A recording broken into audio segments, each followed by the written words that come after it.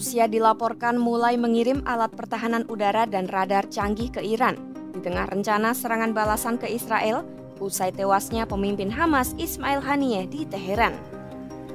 Hal ini dilaporkan oleh The New York Times Senin 5 Agustus 2024 yang mengutip sumber-sumber tanpa nama. Media AS itu mengungkap dua pejabat Iran telah mengonfirmasi kepada mereka bahwa Teheran meminta sistem pertahanan udara kepada Rusia.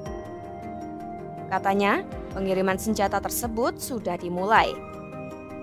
Laporan ini diterbitkan seiring dengan kunjungan Sekretaris Dewan Keamanan Rusia Shoigu ke Teheran untuk bertemu Presiden baru Iran Senin 5 Agustus 2024.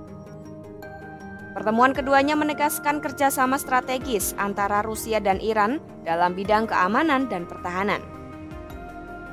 Diketahui Shoigu sebelumnya menjabat sebagai Menteri Pertahanan Rusia yang kemudian dipindahkan ke Dewan Keamanan pada Mei 2024. Ia dilaporkan pernah bertemu Laksamana Muda Ali Akbar Ahmadian yang merupakan Komandan Senior Korps Garda Revolusi Islam IRGC dan menjabat sebagai Sekretaris Dewan Keamanan Nasional tertinggi.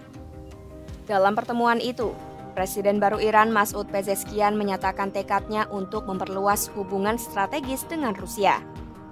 Ia juga menegaskan pentingnya dukungan Rusia selama masa-masa sulit yang dihadapi Iran. Menurutnya, era unilateralisme oleh kekuatan-kekuatan tertentu termasuk Amerika Serikat telah berakhir.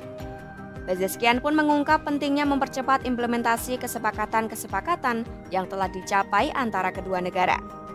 Lebih lanjut, kerjasama antara Iran dan Rusia menurutnya akan meningkatkan keamanan dan perdamaian global.